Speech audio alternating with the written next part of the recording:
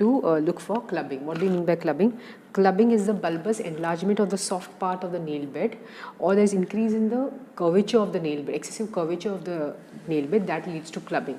Now clubbing has to be observed on the nails. Now what, how do you, what are the tests you will observe, do for the assessing the clubbing? So first you check for the fluctuation in the nail bed. Now for testing the fluctuation first hold the nail bed and with the finger you just have to palpate the nail bed. Normally there is no fluctuation but if there is excessive fluctuation it can be made out and that will be uh, uh, tested as clubbing.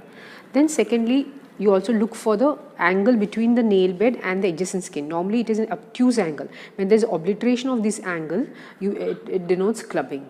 Then the third sign which is important which can be done is the Schamroth sign. In this you tell the subject to approximate his nail beds and you look for the space between the nail beds. Normally there is some space when there is approximation of the nail beds. Obliteration of this space